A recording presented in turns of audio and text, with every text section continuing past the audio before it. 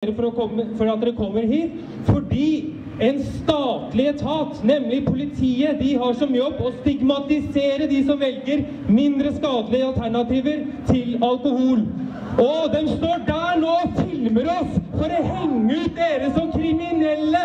Og det er ikke kriminelt hva som kommer ut av min munn, fordi jeg har ytringsfrihet. Og ingen har lov til å diktere meg hva jeg skal putte inn i min munn heller!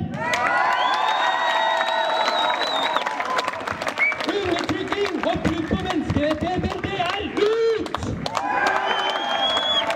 Likestilling, inkludering og, og ivaretagelse av alle menneskers iboende verdighet, det er inn! Og om du er syk og trenger cannabis, det er mulig pga. Schengen-lover å reise ned til Nederland, få tak i en lege og Sensur. Og ta medisin lovlig innover grensen. Så alle dere som mener dere trenger det medisinsk, gjør det. Og det er akkurat med cannabis som det er med alkohol, som det er med andre rusmidler. Vær så snill å ta vare på dere sjøl og ta vare på hverandre. Noen kan få problemer, noen kan ende opp med et overforbruk.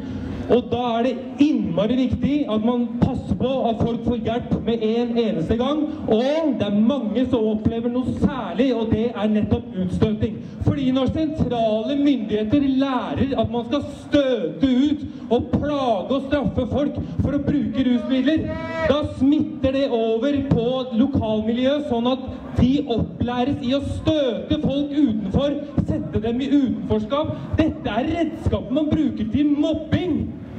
Det må vi ikke finne oss i! Fordi alle er like mye verdt. Og det er, det er pokker ikke mer lurt å gå og kjøpe seg alkohol.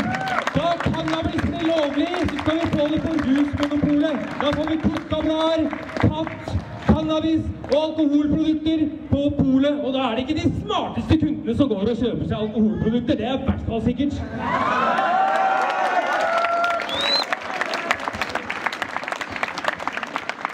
Som Maximen sa, det er lovlig medisinsk cannabis i 21 stater i USA. To stater har nå legalisert det til rekreasjonelt formål. Tre nye stater vurderer å gjøre det i år. Og i Europa har utviklingen gått så bra at det er bare fire land igjen som kriminaliserer folk for å ha litt hasj på seg. Og Norge er blant dem, og derfor så må vi stå på og jobbe hele året for å få slutt på denne undertrykkingen. For å få til opp i. For da kan nemlig politiet begynne å, å prioritere å få en nedgang i kriminalitet. Og det er mye bedre. Tusen takk for meg, og ha en kjempefin marsj.